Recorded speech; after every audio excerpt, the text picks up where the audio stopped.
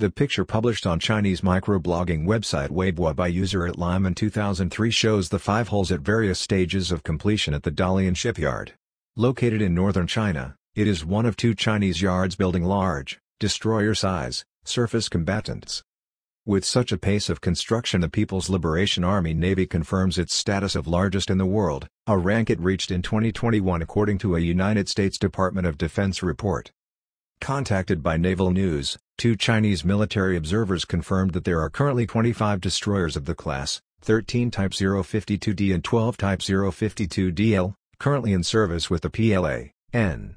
They will soon be joined by the five under construction at Dalian and, at least, one more being built at the Jiangnan Changxing Shipbuilding and Heavy Industry Corporation, the other Chinese shipyard building large surface combatants, located northeast of Shanghai. The new DL variant features a stretched hull and all new Type 052 destroyers are expected to be built in the DL variant. The vessels are still being built for the PLA, and by two shipyards, Jiangnan Changxing Shipyard and Dalian Shipbuilding Industry Company. The ships are equipped with a total of 64 vertical launch system cells for HHQ-9 surface-to-air missiles, Yu-8 rocket-propelled ASW torpedo, YJ-18 tactical cruise missiles, Four modules are located forward of the ship in front of the superstructure, four others aft, in front of the helicopter hangar.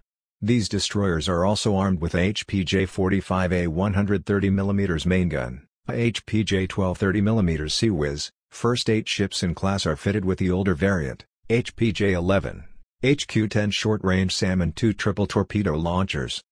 Displacing 7,700 tons, full load, the class has a length of 162 meters, a beam of 17.2 meters, a draft of 6.2 meters and a crew complement of 280 sailors.